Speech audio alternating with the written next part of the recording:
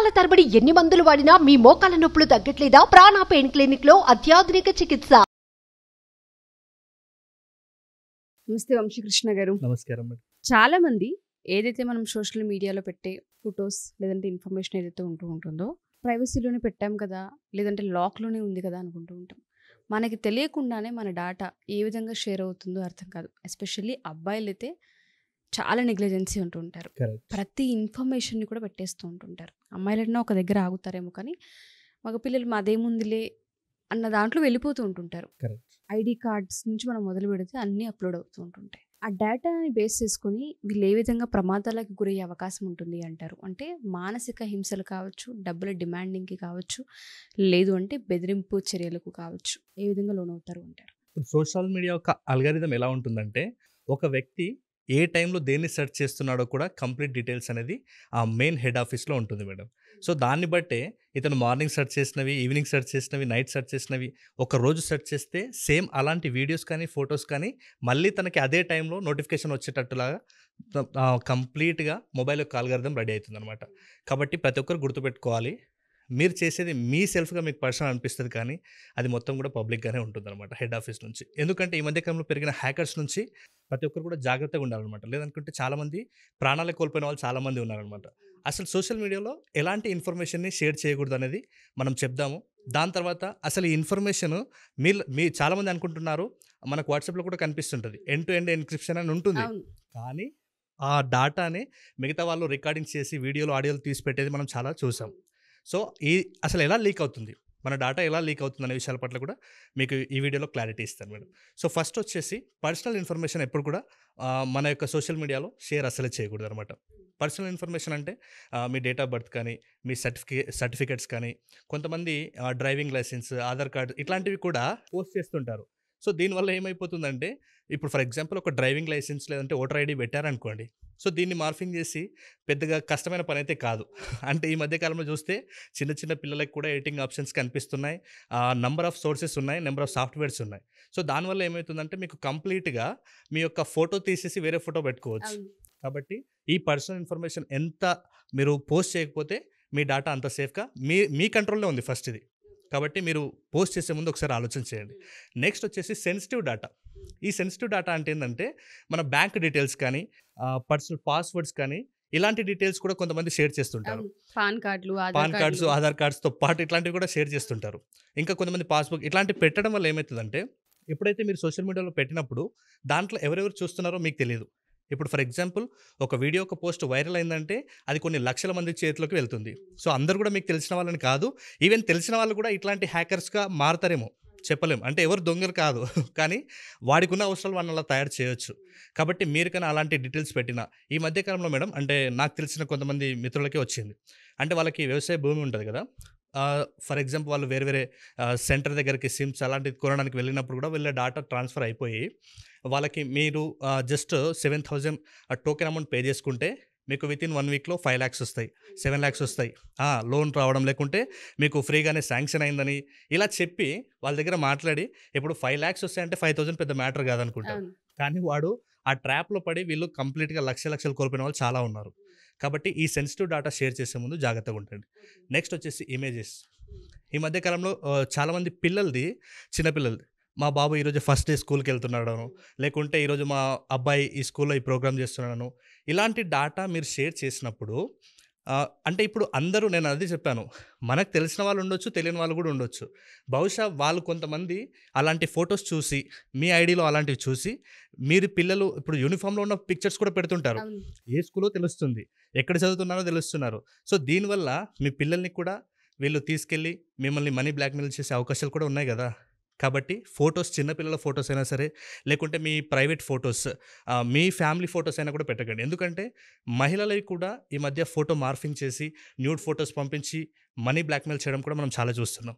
కాబట్టి ఫొటోస్ దగ్గర కూడా కొంచెం మీ ఫైల్స్ ఏవైతే ఉన్నాయో వాటిని కొంచెం జాగ్రత్త ఉంచుకోండి. పిల్లల ఫొటోస్ కూడా పొరపాటున కూడా షే అక్కడ షేర్ చేయకండి. ఎందుకంటే అవి ఇలా మారిపోతున్నాయి. అలా జరిగిన సన్నివేశాలు కూడా చాలా ఉన్నాయి. అంటే పిల్లల్ని ఎత్తుకపోవడం లాంటివి మళ్ళీ మిమ్మల్ని మీ నెంబర్ కూడా దాంట్లోనే ఉంటుంది. ఇప్పుడు నువ్వు ఫేస్బుక్లోనో ఇన్స్టాలోనో చేస్తే దానికి ఎలాగోనూ నీ డీటెయిల్స్ ఉంటాయి కంప్లీట్గా. నీ మొబైల్కి మళ్ళీ వాళ్ళే బ్లాక్మెయిల్ చేస్తారు. కాబట్టి దయచేసి వీటి పట్ల జాగ్రత్తగా ఉండండి. ఇంకా చాలామంది చేసే యూజ్ చేసే మిస్టేక్ ఏంటంటే వీళ్ళు ఫర్ ఎగ్జాంపుల్ ఏదైనా టూర్కి వెళ్ళినప్పుడు మేము గోవా ట్రిప్ వెళ్తున్నాము లేకుంటే మేము. వెకేషన్కి వెళ్తున్నాము. టికెట్స్ డీటెయిల్స్ సహా పెడుతూ టికెట్స్. కూడా పెడుతుంటారు. ఇలా పెట్టినప్పుడు ఏమవుతుందంటే దొంగలకి ఇది ఒక అవకాశం లాగా చెప్పొచ్చు. ఎందుకంటే మీరు ఫర్ ఎగ్జాంపుల్ గోవా అంటే ఒక త్రీ టూ త్రీ డేస్ వెళ్ళిపోయారు అనుకోండి. అప్పుడు మీ ఇంట్లో ఎవరు ఉంటారని వాడికి హింట్ ఇస్తున్నారు. కాబట్టి వాడి పని వాడు చేస్తాడు. కాబట్టి దయచేసి మీరు దృష్టిలో పెట్టుకోండి. ఈ నాలుగు డీటెయిల్స్ అంటే మీ పర్సనల్ ఇన్ఫర్మేషన్ కావచ్చు సెన్సిటివ్ ఇన్ఫర్మేషన్ కావచ్చు ఇమేజెస్ అండ్ లొకేషన్స్. పొరపాటున కూడా మీరు షేర్ చేయొద్దు. మీరు షేర్ చేశారంటే మీరే వేరే వాళ్ళకి హింట్ ఇస్తున్నారు. మీ దగ్గర ఉన్నటువంటి ఆప్షన్స్ ఏమున్నాయో వాళ్ళు వెతుక ఎత్తుకొని లేకుంటే డాటా తీసుకుపోవచ్చు. లేకుంటే ఇలాంటి ఇన్ఫర్మేషన్ వాళ్ళకి పాస్ అయిపోతుంది అనమాట కాబట్టి ఈ నాలుగు విషయాల పట్ల మీరు చాలా జాగ్రత్తగా ఉండాలన్నమాట. మరి ఇప్పటివరకు ఓకే. అంటే ఈ ఇన్ఫర్మేషన్ సోషల్ మీడియాలో షేర్ చేయవద్దు అనేది అయితే క్లారిటీ ఉంది. చాలామంది ఇప్పుడు మనం ఫస్ట్లో అనుకున్నాం మేము చాలా ప్రైవసీగానే వాడుతున్నాము మా డాటా అసలు మా ఇంట్లో వాళ్ళకి కూడా తెలియదు అలాంటిది వేరే వాళ్ళ చేతిలోకి ఎలా వెళ్ళింది అనుకుంటారు. అయితే ఇప్పుడు ఆ డాటా ఎలా షేర్ అవుతుందో చూద్దాం మేడం. ఇప్పుడు ఫర్ ఎగ్జాంపుల్ మన మొబైల్లో వాట్సాప్ ఉంది. నేను మీకు ఒక మెసేజ్ సెండ్ చేయాలి అనుకుంటే ఇప్పుడు నేను ఒక మెసేజ్ టైప్ చేసి సెండ్ చేసినప్పుడు అది మీకంటే ముందుగానే వాట్సాప్ హెడ్ ఆఫీస్కి రీచ్ అవుతుంది. అది కోడింగ్ రూపంలో రీచ్ అవుతుంది. ఆ కోడింగ్ రూపంలోని రీచ్ అయింది మళ్ళీ మీకు డీకోడ్ జరిగి మీకు ఒక మెసేజ్ రూపంలోకి వస్తుంది అనమాట అయితే అక్కడ కోడింగ్ జరిగే క్రమంలో తెలిసిన వాళ్ళు ఉండొచ్చు హ్యాకర్స్ ఉండొచ్చు. దాన్ని ఆ డాటాని మన నుంచి లాగేసుకుంటారు అనమాట సో అప్పుడు ఏమవుతుందంటే ఆ కోడింగ్ నుంచి డీకోడింగ్ లాంగ్వేజ్ని మీ వాళ్ళు తీసుకున్నప్పుడు హ్యాకర్స్ తీసుకున్నప్పుడు లేకుంటే బ్లాక్ మెయిలర్స్ తీసుకున్నప్పుడు వెంటనే వాళ్ళు ఇప్పుడు మనం చూస్తున్నాం. అంటే ఆ అమ్మాయిని బ్లాక్మెయిల్ చేయడం అబ్బాయిలను బ్లాక్మెయిల్ చేయడం. దీనికి రీజన్ ఏంటంటే ఆ ఇన్ఫర్మేషన్ కంప్లీట్గా టెక్స్ట్ రూపంలో వాళ్ళ లోపల ఉంటుంది. కాబట్టి ఆ డాటా మొత్తం వాళ్ళ దగ్గర ఉంటుంది కాబట్టి వీళ్ళు మనీ బ్లాక్మెయిల్ చేయడం లాంటివి లేదనుకుంటే ఎక్కువగా ఏడిపించడం ఇలాంటివి చేస్తుంటారు అనమాట కాబట్టి డాటా ఇలా షేర్ అవుతుంది. నెక్స్ట్ వచ్చేసి ఇంకా మీ డాటా ఎలా షేర్ అవుతుందంటే చాలామంది ఫ్రీ వైఫైస్ ఉంటాయి. అంటే ఇంటి పక్కల వాళ్ళది ఫ్రీ వైఫై అనో లేకుంటే ఫ్రెండ్స్ హాట్ హాట్స్పాట్ ఆన్ చేసుకోవడం అనో లేదనుకుంటే కొన్ని పబ్లిక్ ప్లేసెస్లో ఫ్రీ వైఫై అని పెట్టినప్పుడు అలాంటివి కనెక్ట్ చేసుకోవడం జరుగుతుంది చాలామంది. సో అలాంటివి చేసుకున్నప్పుడు ఒకవేళ వైఫై ఓనర్ కనుక హ్యాకర్ అయితే మీ కంప్లీట్ డాటా అక్కడే ఉంటుంది. అంటే తన చేతిలో ఉంటుంది. సో మీరు ఏం చేస్తున్నా ఎక్కడ వెళ్తున్నా ఏమవుతున్నా ఆ కంప్లీట్ మీరు ఎవరైతే ఆ హాట్స్పాట్ కానీ ఆ వైఫై కానీ షేర్ చేసుకున్నారో ఫ్రీగా వస్తుందని వాళ్ళు హ్యాకర్ అయితే కంప్లీట్గా మీ ప్రైవసీ మొత్తం వాళ్ళు పబ్లిక్ చేసేస్తారు. అప్పుడు మీరు బ్లాక్మెయిల్కి రెడీగా ఉండాలి ఇంకా. సో ఇలాంటివి కూడా జరుగుతూ ఉన్నాయి. ఎవరైతే ఫ్రీ వైఫై అని ఇస్తూ ఉన్నారో లేదు అంటే కొన్ని ప్లేసెస్లో అనుకోకుండా మనకి కనెక్ట్ అవుతూ ఉంటుంటుంది. వైఫై కనెక్ట్ అయింది కదని యూజ్ చేస్తూ ఉంటుంటాం. తెలుసో తెలియకో. అవును. ప్రాసెస్లో ఏదైనా జరగవచ్చు. సో పొరపాటును కూడా ఫ్రీ వైఫై కనెక్ట్ అయింది కదా అని మనం యాక్సెప్ట్ చేయడం డివైస్ వాడడం మాత్రం చేయకూడదు. ఎస్ మేడం అంటే ఇప్పుడు ఫ్రీ వైఫైని మనం కనెక్ట్ చేసుకోవడం వల్ల కూడా వాళ్ళు ఒకవేళ హ్యాకర్ అయితే ఇలా జరుగుతుంది. నెక్స్ట్ చాలా మందికి డిలీట్ అయిన మెసేజ్ చూడము లేకుంటే వాట్సాప్ స్టేటస్ని డౌన్లోడ్ చేసుకోవడము లే ఇలాంటివి అంటే కొంచెం కలర్ కలర్ థీమ్స్ రావడం కోసం ఏం చేస్తున్నారంటే ఇప్పుడు ఫేస్బుక్ ప్లస్ అని ఇన్స్టా ప్లస్ అని అలాగే జీబీ వాట్సాప్లు ఇలా చాలా వాట్సాప్లు వస్తున్నాయి.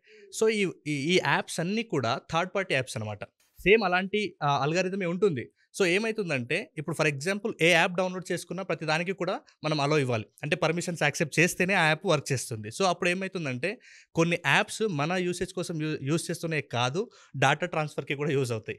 ఇప్పుడు ఈవెన్ ప్రతి ఒక్కరికి కూడా కొన్ని కాల్స్ వస్తుంటాయి. అంటే ఒక రియల్ ఎస్టేట్ కంపెనీ నుంచో లేకుంటే ఒక ఇన్సూరెన్స్ కంపెనీ నుంచో లేకుంటే ఇంకా వేరు వేరు కంపెనీస్ నుంచి కొన్ని కాల్స్ వస్తుంటాయి. ఇప్పుడు మన నెంబర్ ఎవరు ఇచ్చారు వాళ్ళకి? వాళ్ళు మనకు కాల్ చేయడానికి? వాళ్ళు ఏమైనా మనకు తెలిసిన చుట్టాలా? కాదు కదా! మరి అక్కడ నుంచి మనకు కాల్స్ ఎలా వస్తున్నాయంటే ఎప్పుడైతే మనం ఇలాంటి విషయాల్లో అంటే అనవసరమైన యాప్స్ ఎక్కువ ఇస్తున్నాం ఇలా ఇప్పుడు వచ్చినాయి ఫేస్బుక్ అంటే చాలా యాప్స్ వస్తున్నాయి. జీబీ వాట్సాప్ అంటే థీమ్స్ కలర్ఫుల్గా ఉండే యాప్స్ చాలా ఉన్నాయి. సో అలాంటి యాప్స్ని చాలామంది ఇన్స్టాల్ చేసుకుంటున్నారు. సో దీని ద్వారా కూడా మన డాటా కంప్లీట్గా వేరే వాళ్ళ చేతిలోకి వెళ్ళిపోతుంది. అక్కడ నుంచి మీకు కాల్స్ వస్తున్నాయి. అంటే వేరే ఇది ల్యాండ్ కొనుక్కున్నాను లేకుంటే ఇంకా వేరు వేరు స్కామర్ కాల్స్ ఇవా ఇలా వచ్చేస్తుంటాయి అనమాట కాబట్టి దయచేసి వీటి పట్ల జాగ్రత్తగా ఉండండి. ఇంకా కొంతమంది ఏం చేస్తుంటారంటే బయట కొన్ని ఇంటర్నెట్ సెంటర్లకు వెళ్ళినప్పుడు వీళ్ళ వాట్సాప్లో ఉన్నటువంటి ఫైల్ ఏదైనా డౌన్లోడ్ చేయాలంటే వేరే వాళ్ళ పీసీలలో వీళ్ళు అకౌంట్ని అంటే స్కాన్ చేస్తుంటారు అనమాట ఇలా చేసినప్పుడు కూడా హ్యాక్కి గురయ్యే అవకాశాలు చాలా ఉంటాయి. కాబట్టి బయటికి వెళ్ళినప్పుడు అమ్మాయిలైనా అబ్బాయిలైనా మీ డాటాని మీరు షేర్ చేయడానికి వీలైతే మెయిల్ ద్వారానో లేకుంటే కనీసం అక్కడ యాక్సె వీళ్ళు ఎప్పుడైతే కనెక్ట్ అవుతారో మళ్ళీ అక్కడ డిస్కనెక్ట్ అయ్యే వరకు దగ్గరుండి చూసుకొని రండి. లేదనుకుంటే మీ డాటా మొత్తం వాళ్ళ చేతిలో ఉంటుంది. ఇంకా కొంతమంది ఈ మధ్య మనం చూసినట్లయితే వీడియో కాల్ది లేకుంటే కొంత అంటే చాలామంది యూత్ అట్రాక్ట్ అయ్యేది video calls nude video calls చాలా ఈ మధ్యకాలంలో చాలా వైరల్గా మారి కొన్ని లక్షలు యూత్ నుంచి వసూలు చేశారు. అలా వసూలు చేసిన యూత్ ప్రాణాలను కూడా కోల్పోయిన వాళ్ళు చాలామంది ఉన్నారు. కాబట్టి వీటి పట్ల కూడా జాగ్రత్త ఉంచండి. ఒకవేళ అన్నోన్ నెంబర్ నుంచి మీకు ఏమైనా వీడియో కాల్స్ అలాంటివి వస్తే జస్ట్ మీ ఫేస్ అంటే ఒకవేళ మీరు లిఫ్ట్ చేయాలి అనిపిస్తే ఫస్ట్ మీరు మీ ఫేస్ కనపడకుండా ఒక తమ్ని కెమెరా మీద కవర్ చేస్తున్నా లేదనుకుంటే మీ ఫేస్ లేకుండానైనా జస్ట్ యాక్సెప్ట్ చేయండి. మీకు తెలిసిన వాళ్ళైతే ఓకే లేదనుకుంటే అసలు మ్యాక్సిమం యాక్సెప్ట్ చేయకుండా ఉండడమే చేయండి. యాక్సెప్ట్ చేయకపోవడమే మంచిది. అది అన్నోన్ నెంబర్ నుంచి మనకు వస్తుంది అది. ఫేస్బుక్ త్రూ అయినా ఇన్స్టాగ్రామ్ త్రూ అయినా వాట్సాప్లోనైనా వీడియో కాల్ వస్తుంది అంటేనే అవాయిడ్ చేయాలి అసలు అన్నోన్. పర్సన్. ఎందుకంటే చాలా మంది ప్రాణాలు కోల్పోయిన వాళ్ళు ఉన్నారు. కాబట్టి ఇంకా చాలా మంది ఏం చేస్తుంటారంటే ఫ్రెండ్స్ నమ్మడము లేకుంటే అలాంటి నమ్మి మనం వాళ్ళకి మొబైల్ ఇస్తుంటాం. సో మన దగ్గర ఉన్నటువంటి పర్సనల్ డేటా మనకు నమ్మకస్తులైన మన ఫ్రెండ్ లేకుంటే మన రిలేటివ్స్ ఎవరైనా వాళ్ళు అలా చేయకపోవచ్చు కానీ వాళ్ళ ద్వారా ఇంకెవరి చేతిలోకి వెళ్ళి వెళ్తే మళ్ళీ మన డేటా కూడా వేరే వాళ్ళకి ట్రాన్స్ఫర్ అయ్యే అవకాశం ఉంటుంది. ఇలా బ్లాక్మెయిల్ అయ్యి చనిపోయిన వాళ్ళు చాలామంది ఉన్నారు. కాబట్టి దయచేసి మీరు ఒక వ్యక్తిని ఎంతవరకు నమ్మి మీ మొబైల్ని వాళ్ళ చేతిలో పెడుతున్నా అనేది కూడా చాలా జాగ్రత్త ఉండాలి. చెక్ చేసుకోవాలి. సో కాబట్టి ప్రతి ఒక్కరు ఇలాంటి అంటే ఇన్ని స్కామ్స్ జరుగుతున్నాయి. మీ డాటాని ఇన్ని రకాలుగా వాళ్ళు స్కామ్ తీసేసుకుంటున్నారు. చేస్తున్నారు అనేది కూడా అర్థం కాదు. మనం అనుకుంటాము ఫేస్ లాక్ ఉంది తమ్ము లాక్ ఉంది లేదంటే ఒక డిజిట్ పెట్టాము అంత ఈజీయా? లేదంటే వాట్సాప్ మన చేతుల్లో ఉంది. మనం పెడితే తప్ప అవతల వాళ్ళకి ఎలా తెలుస్తుందన్న దాంట్లో ఉంటుంటాం. ఇవాళ రేపు డిలీట్ ఫర్ ఎవ్రీవన్ కొట్టిన మెసేజ్ని కూడా ఏం పెట్టారని చూసుకునే టెక్నాలజీ వచ్చేస్తుంది ఎగ్జాక్ట్లీ. ఆ వైఫై కూడా ఎక్కడ పడితే అక్కడ కనెక్ట్ అవుతుందని చెప్పి చాలా మంది పిల్లలు వైఫై కోసమే ఎక్కడైతే ఫ్రీగా దొరుకుతుందో అక్కడ కూర్చొని కూర్చుంటున్నారు. రైల్వే స్టేషన్ల బస్ స్టేషన్లలో కూర్చుని ఎగ్జాక్ట్లీ. అది ఏ రకంగా హ్యాక్ అవుతుంది తర్వాత కాన్సిక్వెన్సెస్ ఏంటి అని చాలా మందికి తెలీదు. ఈ వీడియో చాలా మంది ఎవరైతే ఫ్రీ వైఫై వాడుతూ ఉంటుంటారో లేదంటే యాప్స్ ఉన్నాయి కదా అని ఏవి పడితే అవి డౌన్లోడ్ చేసి కలర్ఫుల్గా ఉన్నాయి కదా థీమ్ బేస్డ్గా ఉన్నాయని వెళ్ళే వాళ్ళు ఉంటుంటారు. వాళ్ళందరికీ కూడా ఒక వార్నింగ్ అనే చెప్పాలి. ఇవాళ రేపు సోషల్ మీడియా త్రూ ఎంత ఎడ్యుకేట్ అవుతూ ఉన్నామో అంతే డిసడ్వాంటేజెస్ కూడా ఉన్నాయి. వాటిపైన ఎప్పటికప్పుడు నాలెడ్జ్ని గెయిన్ చేస్తూ ఎంతవరకు అవసరం ఎంతవరకు అవసరం లేదన్న వాటిపైన అవగాహన పెంచుకోకపోతే అటు ఆడపిల్లలైనా అబ్బాయిలైనా ఫ్యామిలీస్ ఫ్యామిలీస్ కొలాప్స్ అయిపోతున్నాయి. సో వంశీకృష్ణ గారు చెప్పినట్టుగా ప్రతి డేటా కూడా చాలా అవసరం. వీడియో కాల్స్ విషయంలోనైనా సరే వాట్సాప్ విషయంలోనైనా సరే మనం ఏది పంపిస్తూ ఉన్నాం లేదంటే ఎక్కడ మనం వైఫై వాడుతూ ఉన్నాం అది ఎవరిది అన్న వాటిపైన అవేర్నెస్ని క్రియేట్ చేసుకుని అప్రమత్తంగా ఉండాల్సిన అవసరం ఎంతైనా ఉంది. ఇంకా అంటే చాలామంది మొబైల్స్ కూడా సెకండ్ హ్యాండ్స్లో సేల్ చేయడం లేకుంటే తీసుకోవడం జరుగుతుంది. అలా తీసుకోవడం వల్ల కూడా ఈ మధ్య కాలంలో కొన్ని సాఫ్ట్వేర్స్ వచ్చినాయి. ఇంతకు ముందు నువ్వు ఎలాంటి యాప్స్ యూస్ చేసినావు ఆ యాప్స్లో నువ్వు చేసిన ట్రాన్సాక్షన్స్ ఏంటి అనే డీటెయిల్స్ కూడా తీసుకునే అంత టెక్నాలజీ మధ్య కాలంలో వచ్చినాయి. కాబట్టి సెకండ్ హ్యాండ్ మొబైల్ కొనాలన్నా మీరు అమ్ముతున్నా కూడా కొంచెం జాగ్రత్తగా ఆలోచన చేయండి. లేదనుకుంటే కంప్లీట్గా ఒక ఫ్యామిలీ ఫ్యామిలీనే మొత్తానికి రోడ్డు మీద పడే అవకాశం వస్తుంది. మీ బ్యాంక్ అకౌంట్లో ఏమీ లేకుండా నిలిచేసే అవకాశాలు కూడా ఈ మధ్య కాలంలో చాలా ఉన్నాయి. చాలా జాగ్రత్తగా ఉండాలని అర్థమవుతుంది. ప్రతి పాయింట్ కూడా అవసరం. ఎందుకంటే కంటిన్యూస్గా ఇవే వీడియోస్ కూడా చేయడానికి రీజన్ ఏంటంటే ఎన్నో సైబర్ క్రైమ్స్కి సంబంధించి మనం ఎన్నో వింటూ ఉన్నాము. ఎనభై నాలుగు లక్షలకు పైగా అకౌంట్స్ని ఫ్రీజ్ చేసేసింది. వాట్సాప్ అకౌంట్లను బ్లాక్ చేసిందని మనం విన్నాము. అన్ని ఫేక్ అకౌంట్స్ ఉన్నాయా? అసలు ఇంత జరుగుతుందా? అన్న విషయం మన వెనక మన మన ముందుకు వచ్చే వరకు కూడా మనకు తెలియట్లేదు. ప్రతి ఒక్కరు దీనిపైన దృష్టి పెట్టి జాగ్రత్తగా ఉండి ఒళ్ళు దగ్గర పెట్టుకోవాల్సిన అవసరం ఉందని అర్థమవుతుంది. Thank you for the information Vamsi garu. Thank you so much thank you